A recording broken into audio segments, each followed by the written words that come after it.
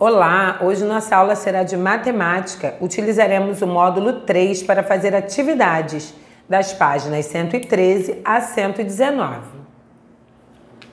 Bruna está brincando com um dado comum.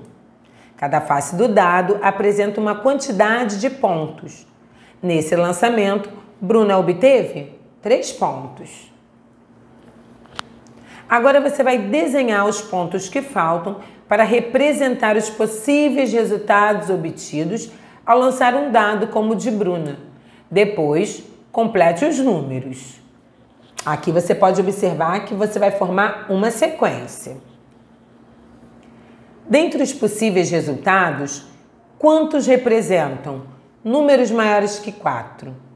Números pares.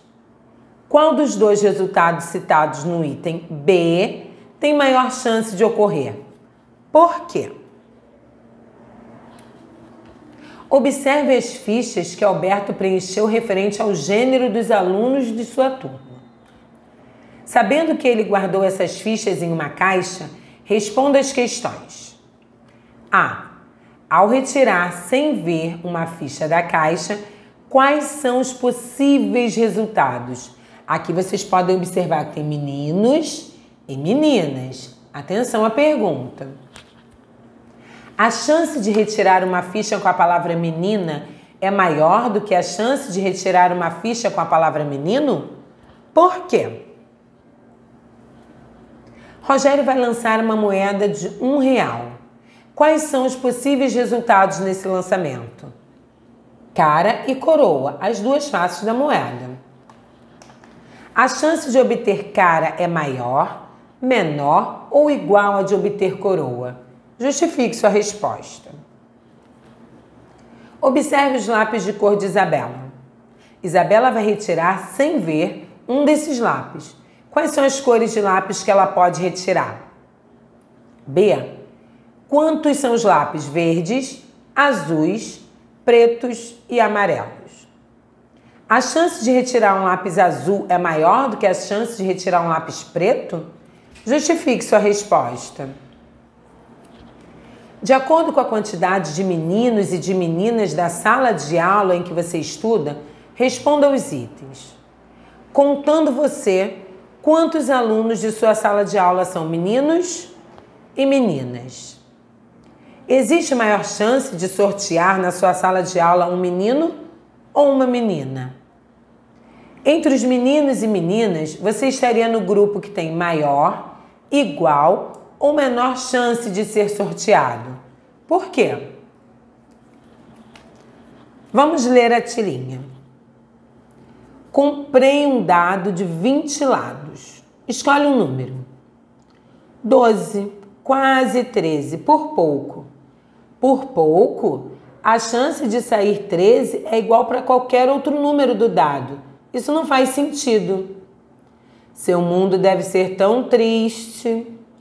Considere que o dado do tucano esteja numerado com números naturais de 1 a 20. De acordo com essa informação, responda as questões. Ao lançar esse dado, quais são os possíveis resultados? Você concorda com a afirmação a chance de sair um número escolhido é igual para qualquer número desse dado? Por quê?